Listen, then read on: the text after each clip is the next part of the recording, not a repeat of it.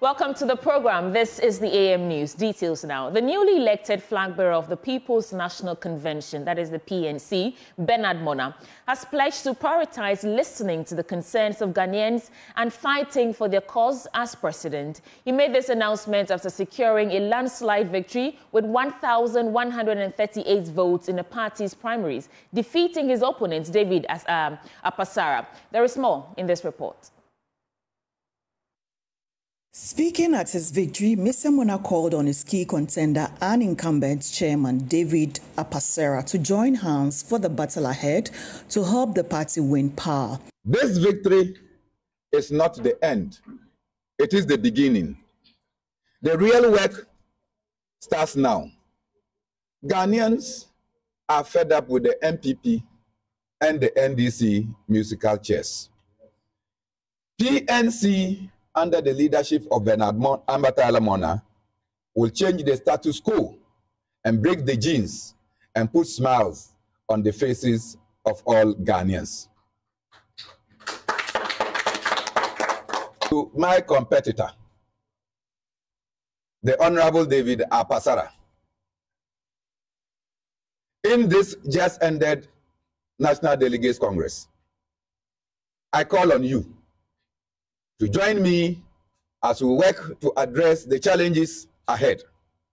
The challenges ahead do not take any side. Hence, I call on you. All party members and all those who separated from us to quickly join ranks with the PNC and the BAM for Change agenda. Let us come together, put aside our differences and build a brighter future for all. The PNC Congress, which was initially scheduled to start at 9 a.m., faced delays due to an injunction filed by David Apasera's camp. Some party activists were incensed by the developments at the end of the presidential primaries, creating tensions at the Congress.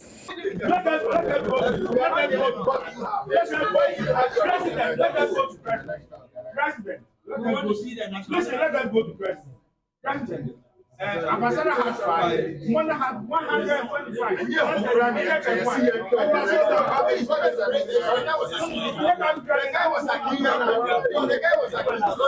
Agents for various aspirants challenged the results declared by the Electoral Commission.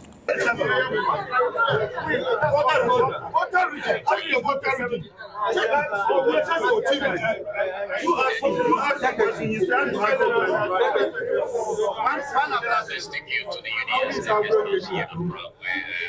Well, like, what is it? What is it? Flag bearer of the opposition National Democratic Congress, has, as a part of his tour of the Bono East region, reiterated his party's commitment towards scrapping the betting tax when voted into office. In his address to party faithfuls in Nkwabeng in the Nkoranza South constituency, Mr. Mahama, however, cautioned the youth to use their winning bonuses wisely and not waste the monies on irrelevant ventures. And Anasabit has more in this report. Throughout his tour of the Bono East Enclave, the NDC flag bearer John Dramani Mahama highlighted key policies in the NDC 2024 Resetting Ghana manifesto. One of those messages that resonated well with the people, particularly the youth, is his promise of scrapping the betting tax. Ezu, betting tax. Ezu, mo a moto bet no, a aban ɛngye tuo biara ɛwɔ so. The announcement, which was warmly welcomed by the teeming youth here in the Nkoranza municipality, where the First Lady, Mrs. Lordina Mahama, hailed from, was, however, met with this important advice.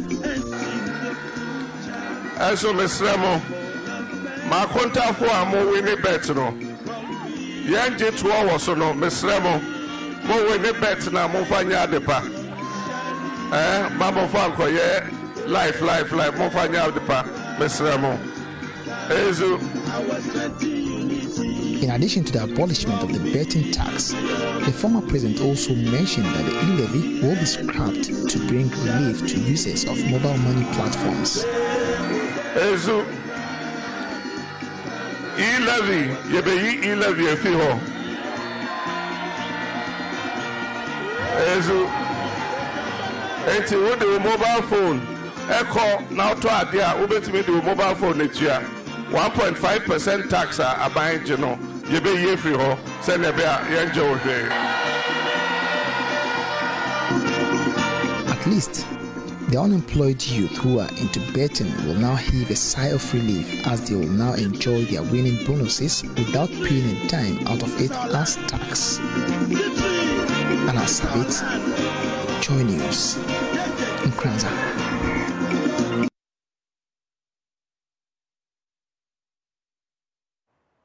In other stories, former President John Dramani Mahama has revealed that the long-standing feud between the NDC and the Atebubu Traditional Council has been resolved. It would be recalled that the NDC MP for the area, Sanja Nanja, has, banned, has been banned from campaigning in the area over some derogatory comments allegedly made against the Queen Mother of Atebubu Traditional Council prior to the 2016 election. Mr. Mahama was thankful to the authorities and assured them that his government would help address the socio-economic challenges of the people. And Asabit again. The Atebubu-Amantin Traditional Council prior to the 2016 general elections placed a ban on the then Member of Parliament for the area, Sanja Nanja, over some comments made by the MP on the local radio station deemed as derogatory to the Queen Mother of the area. The prolonged feud between the NDC candidate and the traditional authorities contributed to the MP's loss of the 2016 parliamentary polls. Even though the famous NDC candidate won the 2020 elections convincingly, there were still cracks between the NDC and the traditional authorities in the area until Mr. John Dramani Mahama in his recent visit to the area disclosed that the long-standing beef between the two factions have been resolved for the growth of the Atebubu-Amantin constituency and the country at large. Na yɛbɛda mo ase ɛm sɛ nea mɛka ne nkabom asɛm yɛsɛ nkabom ɛma ekunimdie. Na menim sɛ mmerɛ atwa mu na nsɛmsɛm kakra ɛba yɛne nananom ntam but ɛyɛ me dɛ ɛyɛ me ahohoaho a sɛ ɛnnɛ yɛne nananom aka bom a ɛkyerɛ sɛ yɛn nyinaa yɛayɛ baako ɔhempɔn ɛɛ na ɛɛ dr. Siama wayɛ te sɛ me nua ketewa. A ɛkyerɛ sɛ me ne no yɛn ntam ɛyɛ yie. Nti mepɛ sɛ obiara hu sɛ ɛnnɛ a yɛreka sɛ ndc ne atebubu yɛayɛ baako. A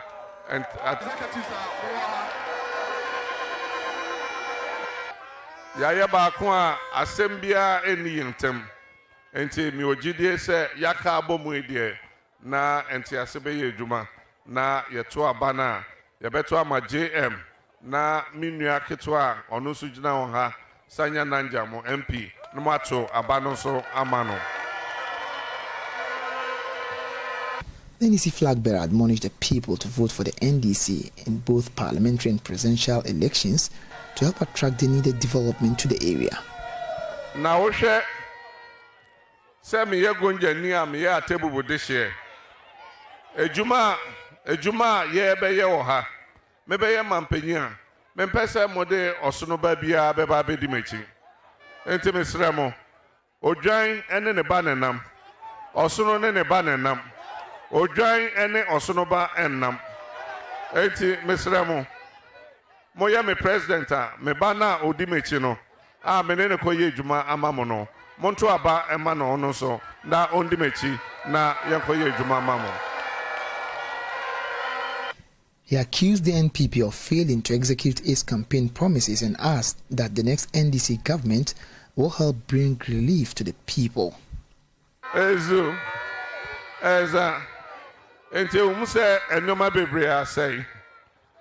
baayɛ ghana ha.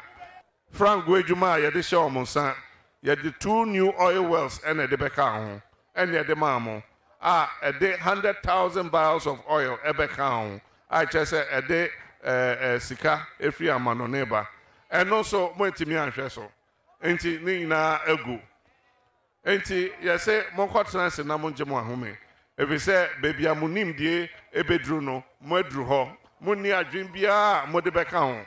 Nti monkɔgye mo ahome. Na ndc mbɛgye neɛ sɛ mpagya ghana. Na ghana mfa no tom apamfra. Anna Sabit, Joy News, Atibu.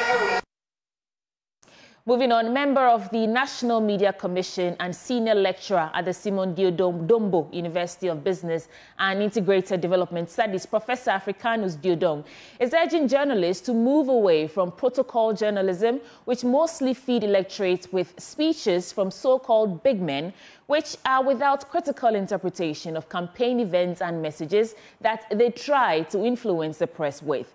He noted that critical interpretation and analysis differentiate outstanding media men and women from their peers. Professor Africanus made a statement at the maiden Upper West Region's GJA Awards in Wa, and Joy News Upper West Regional correspondent Rafiq Salam reports. The Ghana Journalists Association 2023 Best Journalist Awards for the Upper West Region brought together major stakeholders in the media space in the country to award journalists who have excelled in the previous year in their field of work. Two senior journalists who are on retirement were also given citations for their contributions to the development of the media in the region. It was held on the theme Sustaining Ghana's Democracy before, during, and after the 2024 elections, the role of peace journalism. Member of the National Media Commission and senior lecturer at the Simon Diedong Dombo University of Business and Integrated Development Studies, Professor Africanus Diedong, who was the keynote speaker, underscored the important role played by the media in the country and has therefore urged for them to be empowered to perform their mandatory tasks.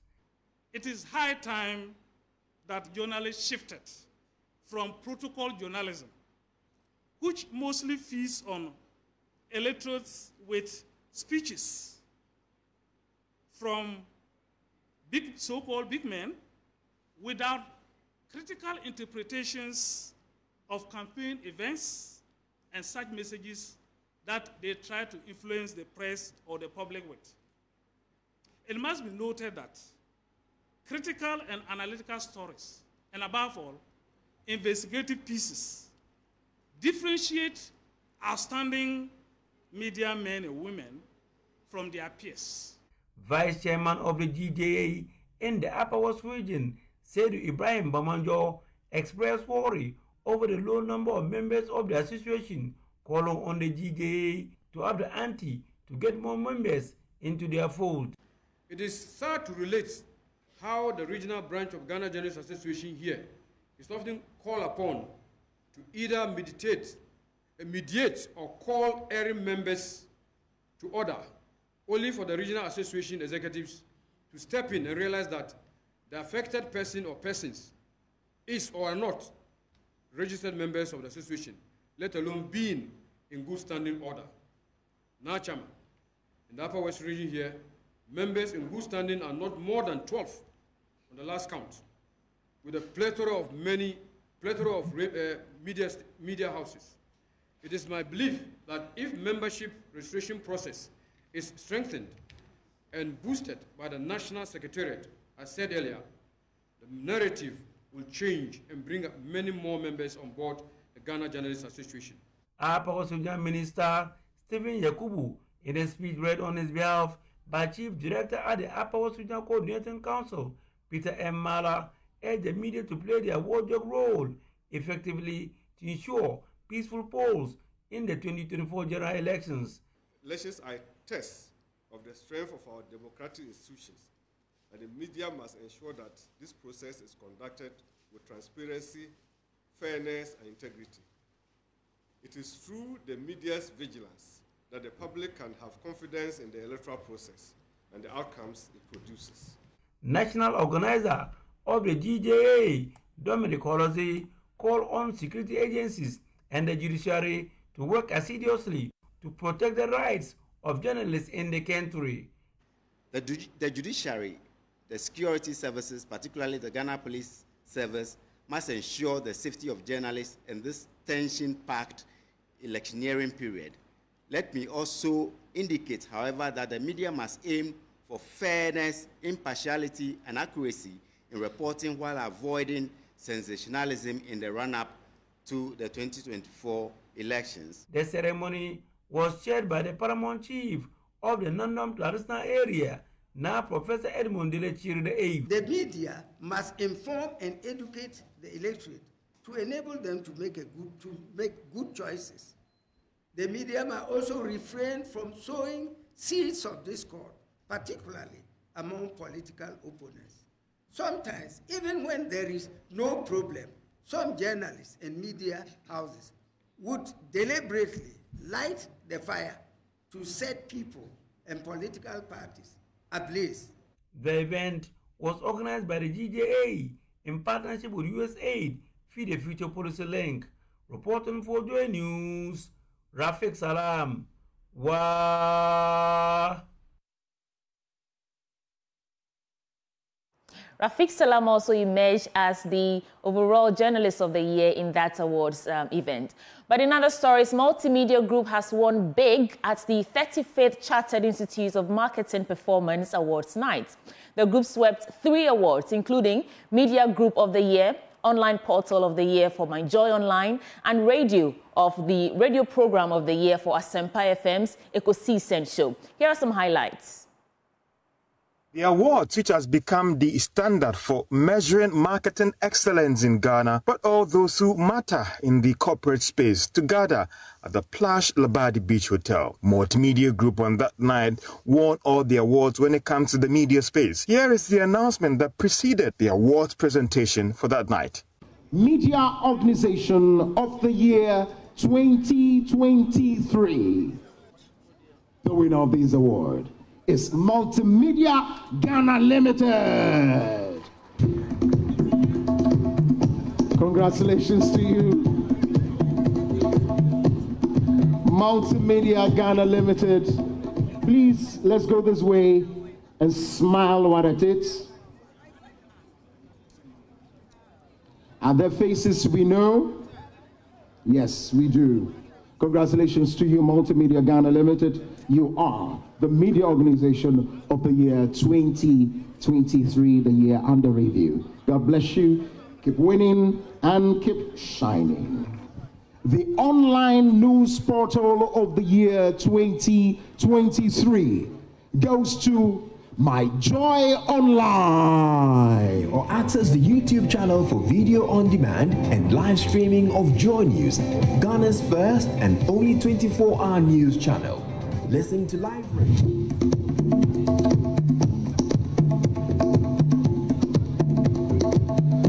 Ladies and gentlemen, My Joy Online is the online news portal of the year 2023. And there they come again. Let's smile.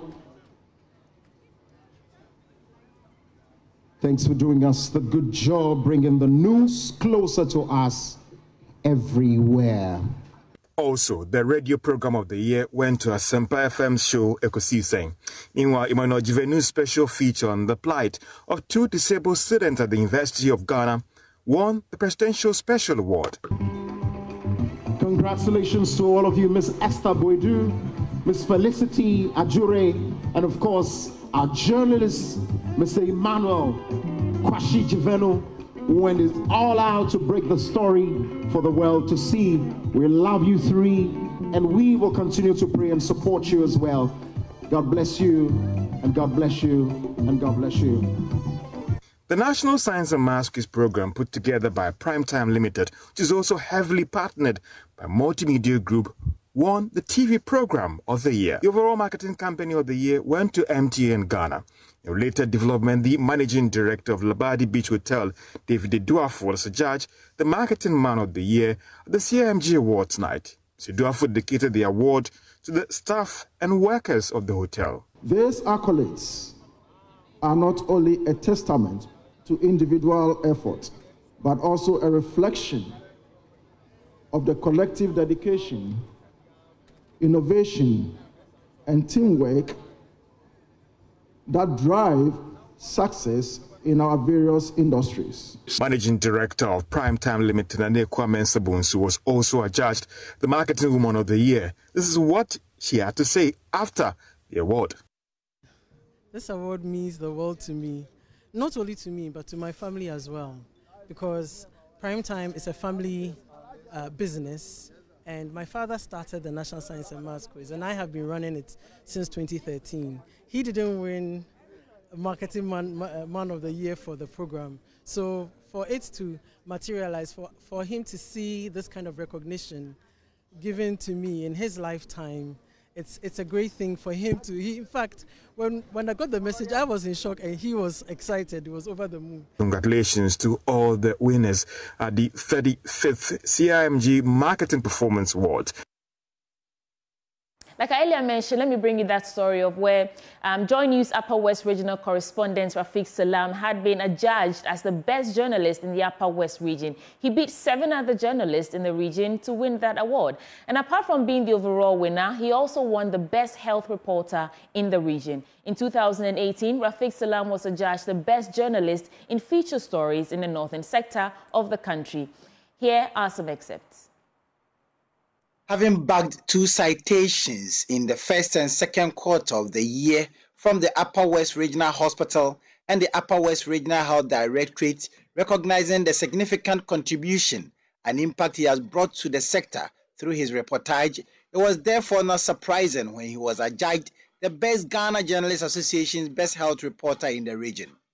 In March 2023, when doctors at the Wa West District Hospital were conducting surgeries using malfunctioning lamp, it was the report of Rafiq Salam that brought the situation to the attention of the public, eliciting support from the Edward Boakye Trust Fund. The trust came to the aid of the hospital, doling out 35,000 Ghana cedis, enabling the hospital to buy two lamps. I did two stories. Uh, one has to do with uh, Memona. Remember the story that I did uh, about Memona when she left school and then uh, have to was looking for 50 Ghana cedis to enable her uh, pay for her, her WASSCE exam. And then we followed the story. And then she got back to school. She was not able to make it to the tertiary level. But the people who were supporting her from the UK and then also the former High Court judge uh, has to take her to a fashion uh, shop because she wanted to be a fashion designer. And then she's now uh, come out as a fashion designer with excellence. This award undoubtedly goes to the man Rafiq Salam.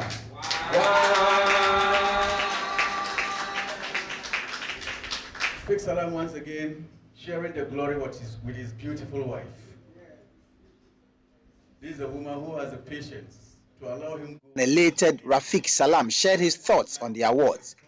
Comes along with a lot of responsibility. That clearly means that I have to uh, improve on a lot and also uh, getting more voices of the people, the challenges that people are facing, and then also uh, for the development uh, of the region. So I'm highly uh, elated uh, for this. And I also want to thank uh, the multimedia group for the platform giving me, the team in Wa, Asalat, Dan, and then also uh, Lutuf for being the backbone that supported me over the years to do all the things that I'm doing. And also not forgetting of my lovely princess, my wife, uh, who sometimes I have to wake up uh, deep in the night to do voiceovers for me. So I want to thank everybody uh, for the support and encouragement uh, uh, for this day.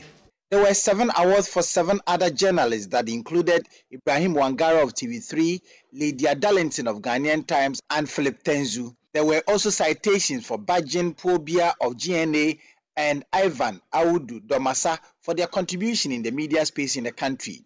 The day actually belonged to Rafiq Salam and the multimedia group, having in 2018 won the SNV Voice for Change Best Feature Story for the northern sector of the country.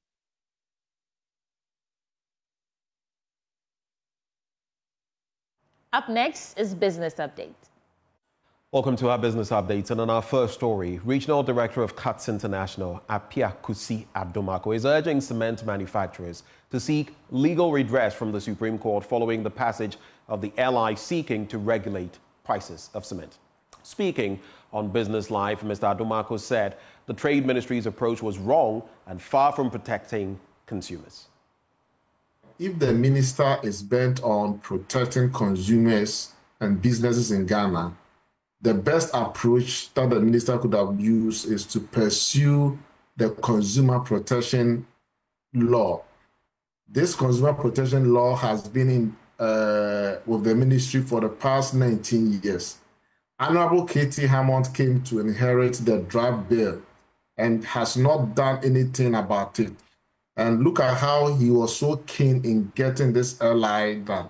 So you said you are protecting consumers in getting a better price. I think the minister is getting it wrong. I would say that he should rather pursue the consumer protection law, pursue the competition and fair trade practices bill. These two laws are the best antidote to every sector we have in this country. Even on the on the legality of the law is also an issue because when you look at the the provisions in the GSA Act, which mandates the minister to go to Parliament to pass uh, with an LI, the issue of pricing is not included in the work uh, within the, the, the that subsection, I think section 80 of the GSA Act. And so if people go to Supreme Court, Supreme Court can easily uh, I mean, uh, nullify the whole LI that that it is it is rooted, it's not rooted in law because the work of Ghana Standard Authority does not include price regulations. Standard mm. authorities are there for quality and technical specifications and standards, not price, not pricing. So uh, the law itself is uh, even wrong, and I urge members of the industry to go to Supreme Court to challenge its validity. Well, the Ghana Cocoa Board says the new cocoa crop season will be opened with its proposed self-financing plan without the usual syndicated loan facilities. Finance Minister Dr. Amin Adam earlier indicated that the government would be seeking external funding to support the cocoa sector. But Chief Executive Officer of Cocoa Board, Joseph Boahen Aidu, says the board will be combining the new purchasing regime with loan syndications if necessary in anticipation of an effective implementation of this self-financing transition. I don't think there's anything wrong with um, you know, introducing a new thing. But once you have an existing model, you can only combine that model with a new one. And I believe that um, if it works, then Ghana will go with that model uh, going forward. Um, we've already tried it during the last crop season from June up to the end of August that was the model that we're using to buy cocoa and then ship. And it has worked. But we want to scale it. So even as we may be going for, um, you know, loan, because when you talk about syndication, it's like going to borrow. Or up next, we serve you our currency market for the day. And that's it for uh, our business updates. Uh, handing over back to Sweetie Abochi. And that's how we're wrapping up for the AM News on the AM show. Coming up next is our news review segment. You don't want to miss it. We'll be right back in a jiffy.